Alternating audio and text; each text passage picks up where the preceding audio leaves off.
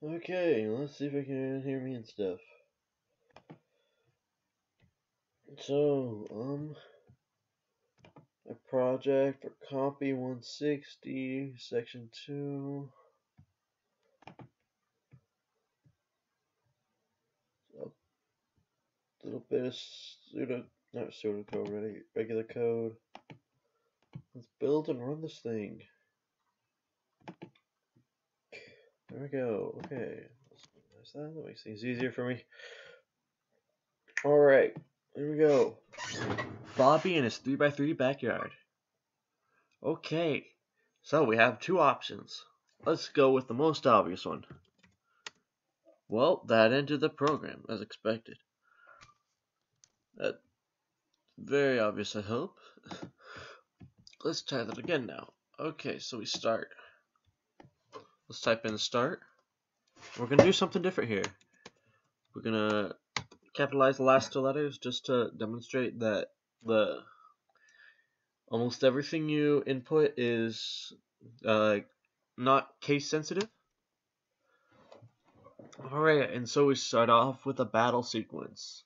Uh, sometimes that happens when you're playing the game, when you start up the game, because um, the game always checks for a battle sequence before it fully loads the room, um, it's entirely possible that the game will load up a, a battle first.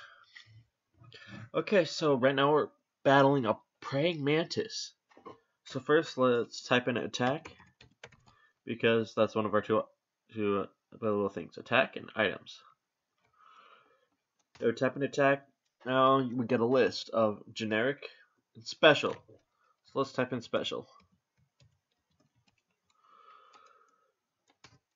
See, there it says we attacked with special. Now that's gonna decrement, decrement the praying mantis's health by two points. And the praying mantis attacked us and gave us two damage. So as you can see, our health, which is right here, decreased by two. Alright, let's attack again. This time, let's just go generic. Oh. Oh, I spelled that wrong. Hold on. Attack, generic.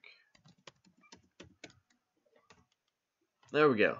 So now Bobby attacked with generic, which only deals one bit of health for the praying mantis.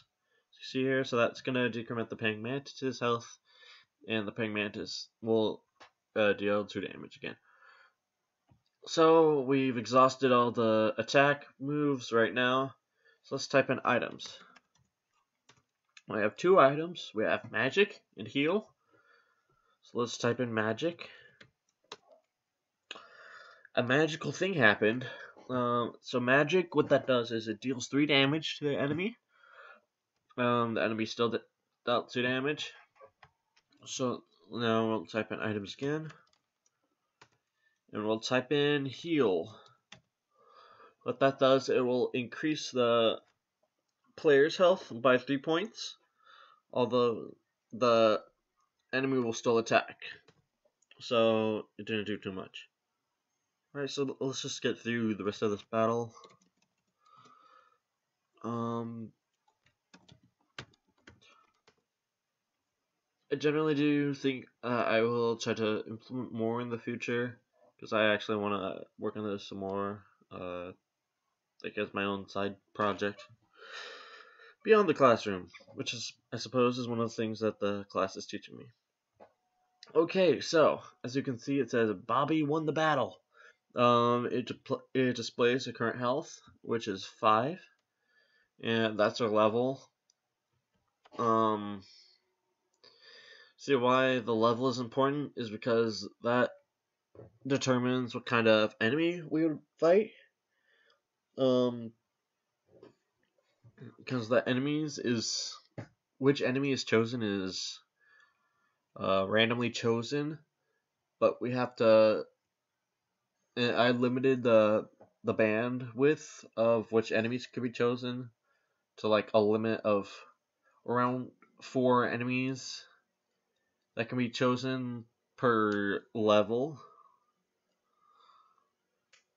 So you know, and as you go on, your level increase, and so uh, your like your time, not your time, your enemies that you would start fighting would start to change, change. All right. So now it says we're at map location one one. You see, we have one, two, three, four, five options. So let's go with the most obvious one, which is exit, and that exits the program. And now I have to restart it again. There's it. There we go. Run again. There we go. Start up again. And we have to just do a little bit. Oh, actually, right now is the perfect time to show you what happens when we lose a battle.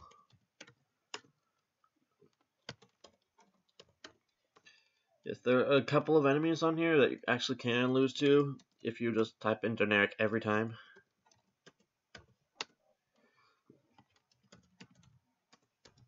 Uh, it's going to be a little bit of time. But we will lose all our health.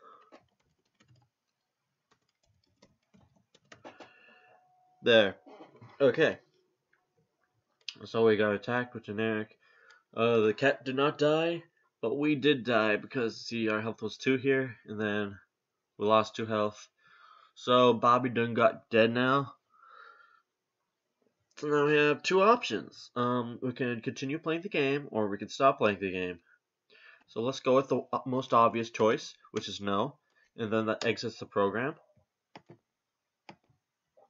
Let's try running that again. Alright. Okay, so now I'll be able to display the map a little bit better. What it is, it's a 3x3 grid uh, created by a two-dimensional array.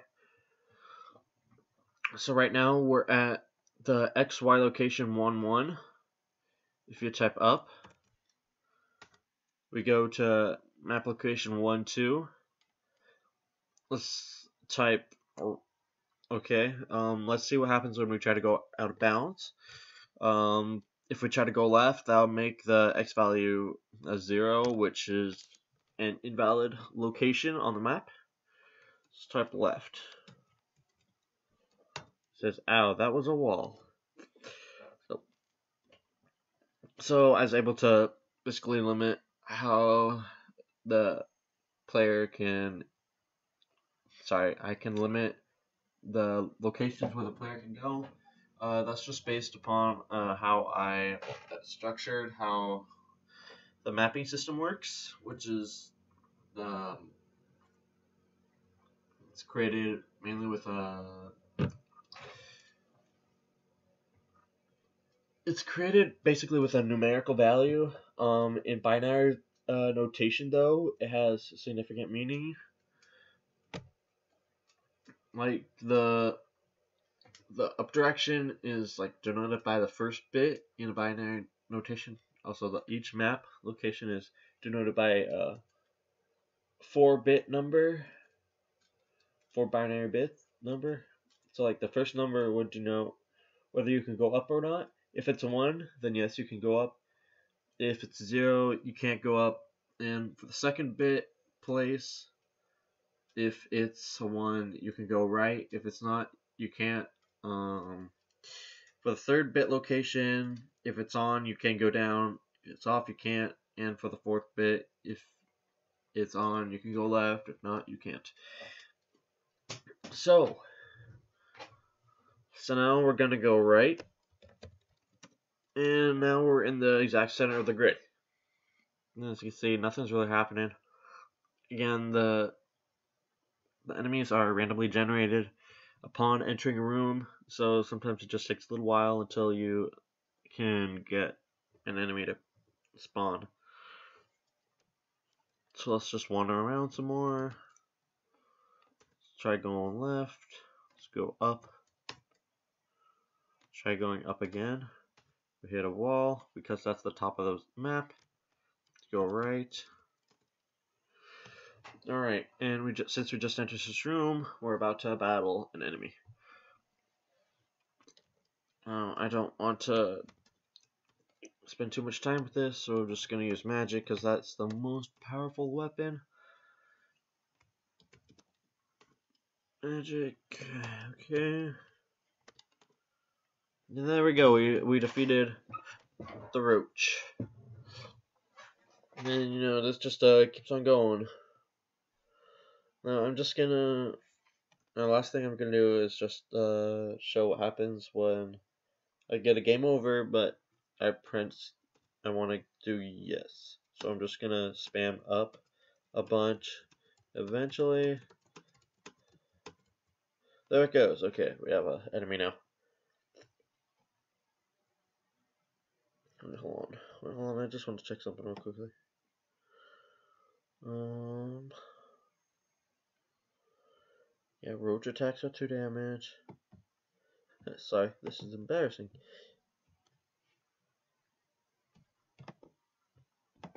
You get a little bit of a view of what stuff is available in here. I believe we can be able to be defeated by Roach. Yeah, let me try, just to be safe. Generic attack, generic attack, generic attack, generic attack, generic, let's see. There, okay, we died. So, let's just say that we do want to continue. And I believe this is the last thing that I have to really show in the game. If we type yes, then it just resets us all the way back to the map location, uh, the default map location, which is 1 1, and it reset our health to 10. So that's my project. Um, I hope to expand it on the future so that I could add more, more sorts of flexibility, such as maybe, yeah, uh, properly implement, implementing like a full level up system, where like the player actually levels up. Um, because right now, um, that's actually